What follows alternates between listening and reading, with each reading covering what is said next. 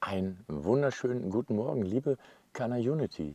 Ja, heute am 16. August ist der Karl Lauterbach, unser Bundesgesundheitsminister aus Deutschland, vor die Kamera getreten und hat uns ein paar Mitteilungen gemacht. Ich habe gehofft, dass da ein paar Änderungen stattfinden, aber ich will euch einen kurzen Überblick über ähm, den Presseausschuss heute geben.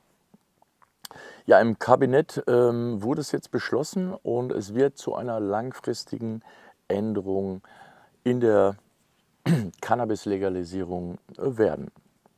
50 Prozent der Drogenkriminalität sind auf Cannabis zurückzuführen, so Lauterbach, ähm, aber auch viel wegen künstlicher Cannabinoide und äh, Beimengungen, Streckungen und so weiter. Ja, es gibt immerhin, also es gibt noch viele Gegner, wie wir wissen. Ähm, die einen sagen, es ist äh, zu bürokratisch gestaltet. Die anderen sagen, es geht in die völlig falsche Richtung. Ich glaube, wir wissen, von wem es kommt. Ähm, soll aber seiner Meinung nach ein gutes Zeichen auch sein. Das heißt, die Gespräche werden dadurch äh, intensiver und ähm, man hat es überhaupt zu besprechen und nicht wie damals, wo es einfach ein Tabuthema war. Ähm, ja, sie wollen auch nicht ähm, die Legalisierung nach amerikanischem Vorbild und sie wollen es auch nicht nach, den, nach dem holländischen Vorbild. Äh, in Amerika, wie ihr wisst, ist es ja alles sehr kommerziell geworden. Ähm, dadurch ist natürlich auch ein, ein Jugendschutz für die Bundesregierung nicht durchführbar. Die sagen, das können wir nur machen mit äh, unserer Regelung. Also es nicht kommerziell werden zu lassen und natürlich auch Regelungen zu beschließen, dass es nicht so wird wie in Holland, ja, wo die Clubs eigentlich noch alle völlig illegal sind. Ja, der Kinder- und Jugendschutz wird sogar ausgedehnt und zwar bis zum 25. Lebensjahr. Also das heißt, man kann sogar damit rechnen, ähm, dass diese niedrig dosierten Cannabis ähm, Pflanzen vielleicht sogar bis zum 25. Alter abgegeben werden dürfen. Aber das sind jetzt nur von mir ähm, ausgedachte Sachen. Die gehen davon aus, dass der Jugendschutz auf jeden Fall ausgedehnt wird bis zum 25. Lebensjahr. Das heißt, was bislang also tabu war in Schulen und so weiter nicht besprochen wurden, ähm, wird jetzt erst richtig ähm, eingesetzt, in Schulen besprochen. Es werden Präventionsmaßnahmen beschlossen und äh, damit soll dem Jugendschutz, ähm, ja, damit soll der Jugendschutz gut platziert sein. Ähm, ja, gibt es eine Wende in der Drogenpolitik, ähm, ist die Frage. Also die 25 Gramm bleiben erstmal, ähm, da hat es jetzt keine Veränderung gegeben. Die gehen davon aus, dass die Preise ähm, auf jeden Fall durch die Genossenschaften, durch die Anbaugemeinschaften, ähm, Cannabis Social Clubs, äh, die Preise niedriger werden als auf dem Schwarzmarkt. Und somit ähm, sagen die, ist da erstmal keine Änderung notwendig. Ja, die, auch die Schutzzonen äh, mit 200 Meter bleibt. Auch da keine Veränderung zu sehen, ähm, weil sonst wiederum kein Jugendschutz möglich, so Lauterbach. Hm. Er spricht sich aber auch gegen die Aussage vom Richterbund aus, ähm, die ja sagen, durch die Legalisierung oder Regulierung wird es noch mehr oder durch die bürokratische Gesetzgebung wird es noch mehr Fälle geben. Also aus rechtlicher Sicht wird es eher weniger geben äh, und man kann so halt auch keinen Schutz betreiben. Das ist jetzt mal die, die Hauptaussage und ähm, somit soll halt äh, die Richterbund äh, ja, in Luft sich auflösen. ähm, so, und dann, äh, was immer wieder ein ganz wichtiges Thema ist, ist Kiffen und Autofahren. Äh, da ist auch einiges passiert oder beziehungsweise läuft da viel im Hintergrund, was aber natürlich nicht bekannt gegeben wird. Ähm, Im Moment ist es noch so, dass äh, ein Nanogramm pro ein Milliliter als Grenzwert gilt und das seit 1998, obwohl die die Stärken der Pflanzen sich ja auch mittlerweile erhöht haben, ist es schade, dass es immer noch ähm, so ist. Ähm, die Studienlage macht es schwer und ähm, gibt es auch erst seit 2022. Es ist aber eine extra Kommission noch gegründet worden, ähm, die Studien durchführen und die nach der Bekanntgabe der Studien dann auch den Grenzwert hochsetzen bzw. Ähm, bekannt geben werden. Also es wird erst wissenschaftliche Studien noch dazu geben. Im Moment gibt es noch eine Verurteilung ähm, im Paragraphen 24a, ähm, was ihr wohl kennt. Ähm, es muss auf jeden Fall einen Grenzwert geben. Darüber sind sie sich einig, äh, dass das ähm, auch nicht mit Alkohol gleichgesetzt werden kann. Das ist halt wirklich schwierig. Ähm, bei Alkohol ist es einfach leichter festzustellen und ich glaube, da ist das Hauptproblem. Ja, 500 Mitglieder. Zu viel, zu wenig reicht das. Ähm, es soll nicht mehr werden, also die wollen bei 500 Mitglieder bleiben. Warum? Kontrolle, Kontrolle, Kontrolle.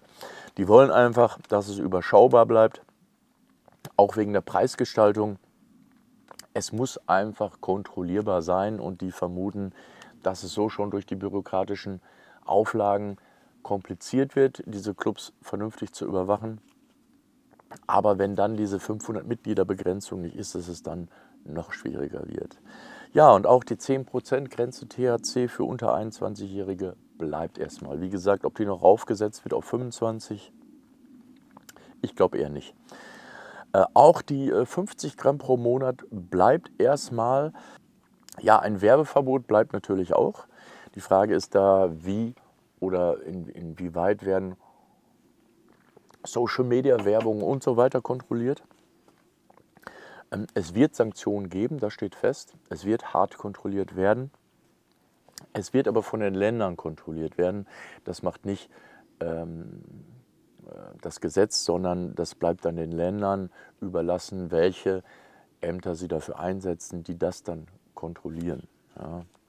Also das wird noch eine komplizierte Sache. Die Clubs sollen auf jeden Fall schnell ihre 500 Mitglieder erreichen oder die meisten haben es jetzt sogar schon.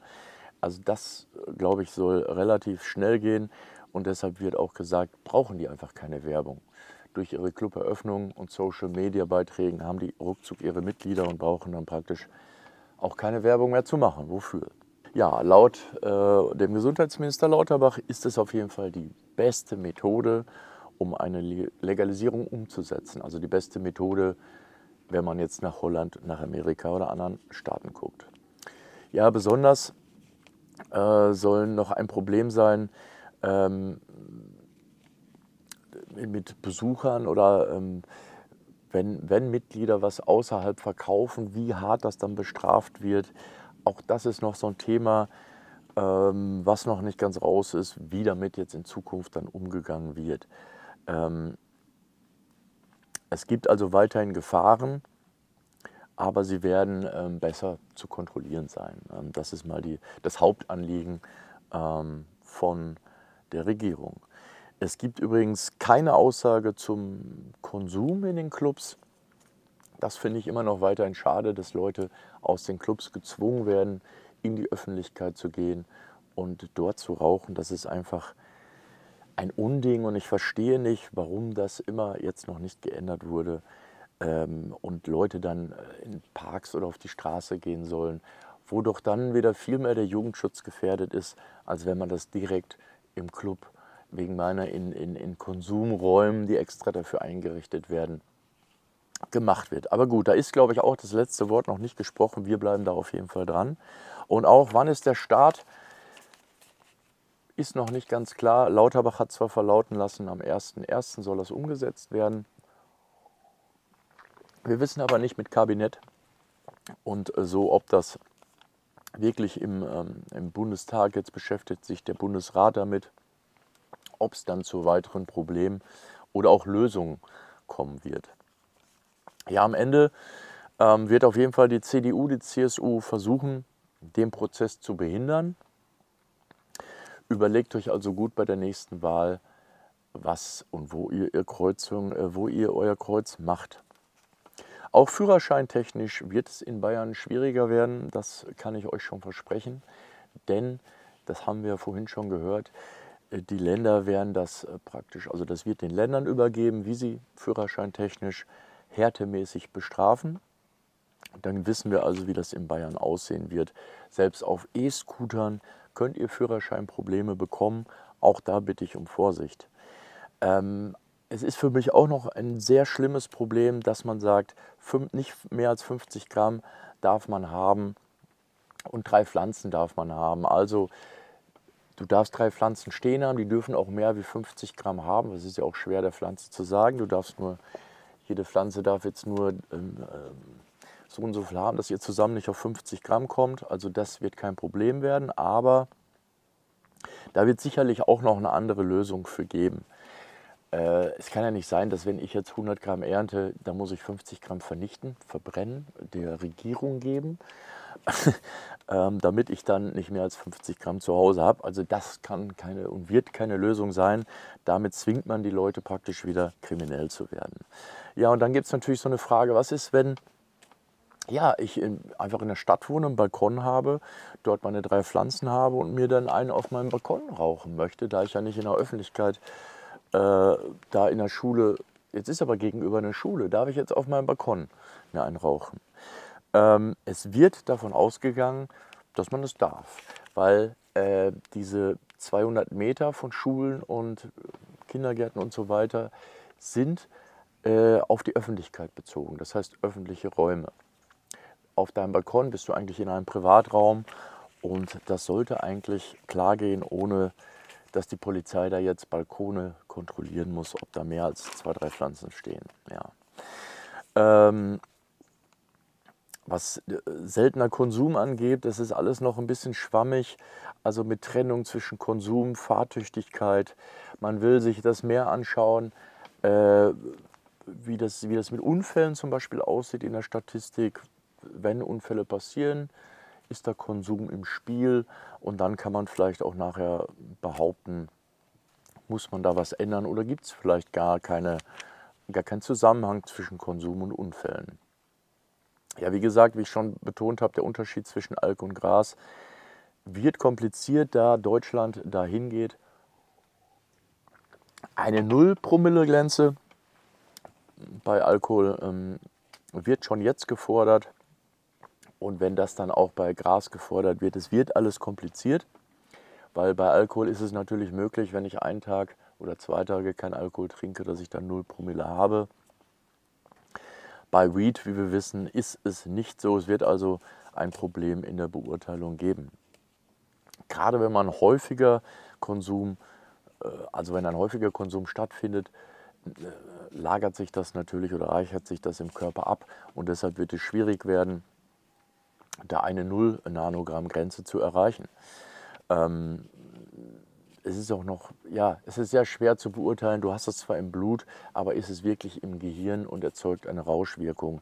Das alles muss noch erforscht und studiert werden. Wie ihr wisst, äh, nichts darf so behauptet werden und es wird auch nicht Rücksicht genommen, was äh, Experten oder was andere Konsumenten schon 20 Jahre für Erfahrungen haben. Es soll also durch die Ermittlungsbehörden verändert werden. Es bleibt kompliziert. Ja, ihr Lieben, ich glaube, ich habe jetzt so ziemlich alles erwähnt, was wir in der Pressekonferenz gehört haben. Äh, es soll übrigens eine Milliarde Einsparungen geben für die Verfolgung und die könnte man wieder einsetzen, um Großkriminalität zu bekämpfen. Das heißt also nicht, dass es keine Verurteilung und ähm, Verfolgung mehr gibt, ähm, aber Nichtsdestotrotz würden sie dadurch eingedämmt.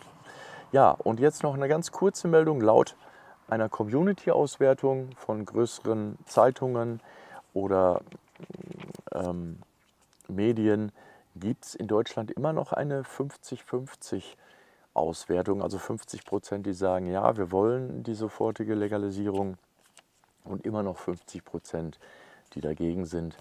Also wir müssen immer noch viel daran arbeiten, dass der Hanf verstanden wird. Und ich empfehle immer wieder ein schönes Buch hier von Markus Berger, wo alles beschrieben ist.